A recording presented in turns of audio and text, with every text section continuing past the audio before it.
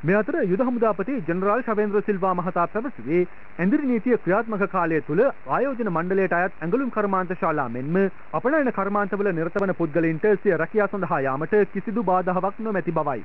මේ අතර නිරෝධහන ඇඳිරි නීතිය පැවතියත් ඇතැම් අත්‍යවශ්‍ය සේවා ක්‍රියාත්මක වන පසුබිමක පොදු ප්‍රවාහන සේවාවන් සැපීමක් සිදු කෙරෙන්නේ නැහැ. විද්‍යාත්මක රටවැසීම වෙනුවට අපේ කටවැසීම වෙනුවෙන් නම් රටවහලා තියෙන්නේ මේකෙන් ප්‍රයෝජනයක් ගන්න බෑ. අපි දන්නවා ආර්ථිකයකට අමාරු. හැබැයි අපේ රටේ ආර්ථිකයට අමාරුයි අමාරුයි කියලා කියන්නේ සති දෙකක් වහන්නනේ. ඉතින් සති දෙකක් වහන්න අමාරු ආර්ථිකයක් තියන් ඉන්න අපිට මේ ආර්ථිකය උරුම කරලා දුන්නේ මේ පාලකයෝම තමයි. අපි කිව්වේ ලක්ෂයක් PCR කරන්න කියලායි. කටුනායක ඉන්නවා 50000ක් සේවකයෝ. පියගම ඉන්නවා 30000ක් සේවකයෝ. පොග්ගල ඉන්නවා 20000කට ආසන්න සේවකයෝ. එක දවසින් මේ PCR ටෙස්ට් ටික කරලා මේ අය හඳුනගෙන ආසාදිතයන් ඉන්න එළියට අරගෙන කර්මාන්ත ශාලා ටික දුවන්න පුළුවන් බැරි නෑ. වැඩපිළිවෙලයි ඕනේ. කෙසේ වෙතත් ඒකාබද්ධ ඇඟලුම් කම්හල් සංසදය අද ප්‍රවෘත්ති සාකච්ඡාවක් පවත්වමින් සඳහන් කළේ සෞඛ්‍ය මාර්ගෝපදේශ අනුගමනය කරමින් සිය කර්මාන්තය පවත්වාගෙන යාමට Tamanට හැකියාව පවතින බවයි.